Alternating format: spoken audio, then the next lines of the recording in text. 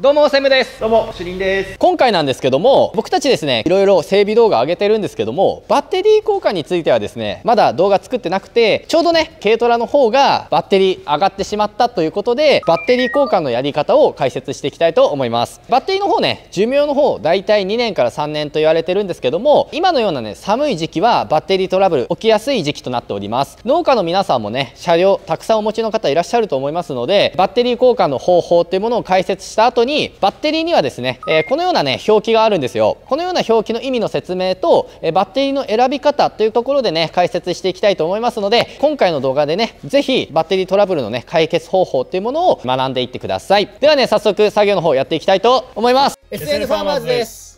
はいじゃあね早速作業の方やっていきたいと思うんですけども僕ですね実はバッテリー交換やったことないんですよ。今回の動画のためにちょっとね予習して急遽の頭にぶち込んできたので不安です。まずは使う工具の方紹介していきたいと思うんですけども軽トラとかの車両は 10mm 程度のねメガネ電池があればこと足りると思うんですけども乗用車の方とかはね8からまあ12あたりで揃えていただくと対応できるのかなと思います。であとねカバー外したりする際にマイナスドライバーとかねプラスドライバー必要になる車両もあると思いますのでこういうのもあると便利です。バッテリーねこちらに新品用意したんですけども、えー、この選び方については後半の方説明しますので今は割愛したいと思います。で、えー、安全面の部分でねこちら前回の動画でも紹介したんですけどもニトリルのねちょっと厚いゴム手袋このようなものがあると快適に作業できるかなと思います。それから端子とかの接触を防ぐ際にこのようなねタオルとかあるともっとね安全に作業できますのでこのようなねものも準備してみるといいかと思います。では早速作業の方やっていきたいと思います。はい。ではねやっていくんですけども、まあ、車両によってはねこのようにカバーついてると思いますのでこちらの方外してください。軽トラとかね車種によって異なると思いますのでこのやり方とかはねそんな説明しないですけどはい。このような感じで止まってるので外してくださいはいそしたらこのように引っ張ればカバー外れるんでそうするとねもうバッテリー出てきます。えー、そうしましたら次にねバッテリーをね押さえてるこのようなねステーのようなものがどの車両にもついてると思いますので、えー、こちらを外していきます。この車両の場合は、えー、こちらにねボルトついてますのでこちらをメガネなどで外していきます。でここのボルトねある程度緩めましたらこのようにね横にピンがついてるタイプのものはこのようなピンを外すと穴からねこの出てるのを抜くことができますのでこちら側に抜いてあとはこのステをね引いてあげるとこのように取ることができます。はい。このようにねステの方が外れましたら次にね、えー、こちらの端子の方外していくことになるんですけどもバッテリーのね端子を外す時はマイナスから次にプラスという順番で外していきます。逆につける時はプラスマイナスという風な形でつけていきます。なぜかというと先にプラスの方を外そうとしますとこのようにね工具を動かした時に、え、こちらにね接触して、え、バッテリーショートさせてしまう危険性がありますので、え、必ずマイナスの方からこの時もこちらの方にね工具がぶつからないように作業してください。はい。ではね外していきたいと思います。まずはこちらの端子のボルトを外していきます。皆さんも軽トラの足回りとかってすごい汚れると思うんですけどもバッテリー同じような状態になってる方いませんか？ここってなかなか洗浄しにくいですよね。である程度緩みましたらこちらも外れますのでこのような形で外します。でこの時にこの外したものなんですけども工具とかねこちらに接触しないように軽くね避けておくといいと思います。次にプラスの方作業していきます。プラスの方にはですねこのようにカバーが大体ついてると思いますのでこちらの方外します。そうしますと同じようにボルト出てきますのでこちらを外していきます。あの細かい作業の時に、えー、この間のねこのニトリルの手袋すごいいいんですよ。厚くて掴みやすくてね。しかも今回の作業のような電気を使う時はねゴムで完璧ということでやってます。あと補足なんですけども、えー、先ほどねこちらマイナスから外すというくだりの時で説明し忘れたんですけどもマイナスからね外す理由のもう一つとしてはねマイナスがね接続された状態でプラスの方を作業してしまいますと、え、このように工具を動かした時に、え工具がボディに当たってしまうとこれもショートのの原因になりますのでそのような理由もあって先にね、えマイナスの方を外しております。でこちらもある程度緩めましたらもう簡単に外れますのでこのような形で外します。こちらも同じくちょっと避けておくと次の作業がしやすいと思います。ここまで来たらあとはねもうバッテリー外すだけなので外していきます。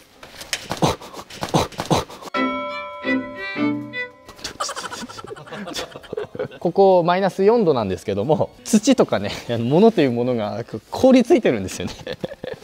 はい。はいと。はい、バッテリーの外し方については以上になります。次にね逆手順で新しいバッテリーの方をつけていきたいと思います。SN ファーマーズです。はいバッテリーの方ねこちら新品になるんですけどもこのようなものは外してください。そうしますとねこのような持ち手みたいなやつついてると思うんですけどもバッテリーによってはこの持ち手などがゴム製でこのような場所とかに固定されてるタイプのものもあると思うんですけどもそちらは持ちやすくするためについてるだけなので装着する際にはね外してください。もしねゴムとかでちょっと外しにくいなって時はここからねカットしちゃっても大丈夫なんでついてる場合は捨ててください。ではねさっきと逆の手順でただ戻していくだけになります。まずはバッテリーを元の場所にセットします。そうしましたら先ほどのこのプラスの方を先につけていきます。でこの時にこちらをですねしっかりねこの棒みたいなところの奥まで差し込んであげてください。はいこのような形ですね。そうしましたらボルトを締めていきます。締める時なんですけどもここをねあまり強く締めすぎてしまうとここの端子をね破壊してしまう危険性がありますので締め付けの強さに関しては気をつけてください。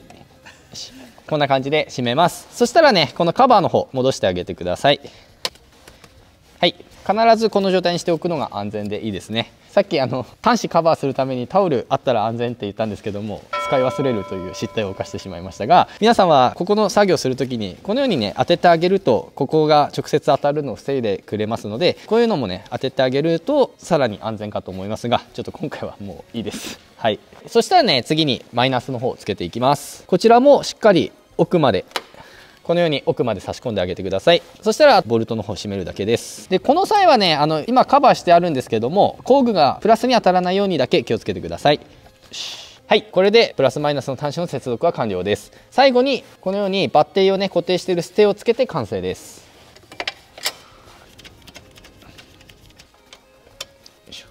固定するステーなどはあのしっかり締めてあげてください。で最後にカバーの方取り付けて完成です。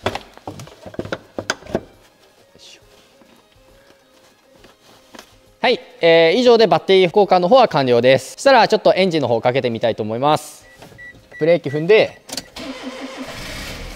おおバッチリ問題ありません。こんな感じで作業の方は終了になります。SN ファーマーズです。はい、それじゃあバッテリーの買い方についての説明なんですけども、今回買ったバッテリー、こちらになるんですけども、これだと 44B19L っていう風に表記があるんですけども、まあ、まずこれの表記の説明になるんですけども、44、これがあのバッテリーの性能、どれだけ電気が入るかとかっていう容量の数字になります。これが大きければ大きいほど、いっぱい電気が貯めれるバッテリーで、バッテリーにもあの通常のバッテリーと、あとあの寒冷地仕様のバッテリーっていうのがあって、私たち住んでるところみたいなな寒い地方だとバッテリーって寒さに弱いのでこういう数字が大きいものを選んだ方がいいと思います。次に B っていうのはバッテリーのこの横の短い部分のま長さの規格になっていて自分の車の適合したサイズここを見て確認してください。次の19っていうのもバッテリーのサイズになって B がこの短い方のサイズ。でこの数字19とかって書いて数字が長い方の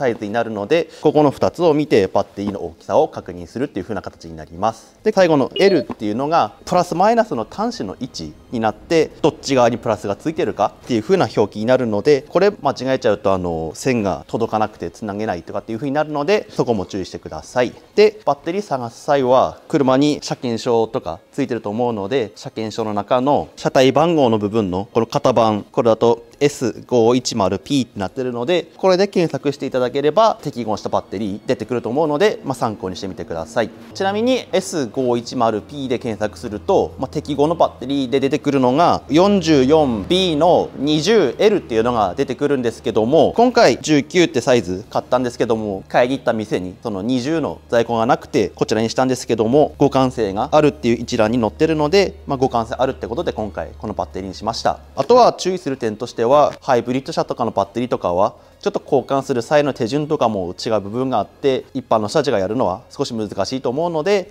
まあ、そういった車に関してはディーラーさんとかに頼むのが一番いいと思います。はいというわけで、まあ、バッテリーの選び方だったんですけどもまとめとしては、まあ、自分が乗ってる車の、ま、車体番号の方をまず確認してもらってそちらの方で検索かければ適合するバッテリーの一覧が出てくると思うのでそれを参考にカー用品のショップだったりとかホームセンターの方で、ま買っていただければと思います。あとまあ交換したバッテリーの処分方法なんですけどもも普通のあの一般ゴミあの燃えないゴミとかには出せないのでそちらもあの車屋さんとかそういったところに引き取ってもらうようにしてください。SN ファーマーズです。はいいかがでしたでしょうか？今回はですね自動車のバッテリー交換の方法ということで動画作ったんですけどもこのようにですねバッテリー交換ね普段整備やらない僕でも意外にね簡単にできる作業になります。なので今回解説したマイナスから外してプラスを外す。つけるときはその逆でプラスからつけてマイナスをつけると。この点だけね覚えておけば自分でね状況を見ながら交換できるのかなと思いますので皆さんもぜひやってみてください。あとですねバッテリーについての注意点の補足なんですけども長期間ね乗らないような車両はもうバッテリーのね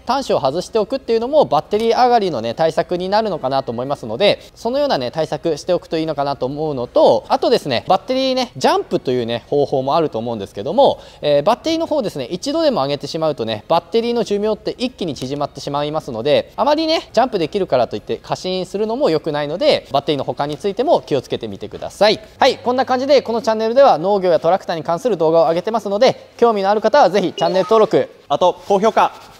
Twitter、インスタの方やってますので、ぜひフォローの方よろしくお願いいたします。じゃあね、今回の動画はこれで以上にしたいと思います。また次回の動画でお会いしましょう。バイバイ。バイバイ。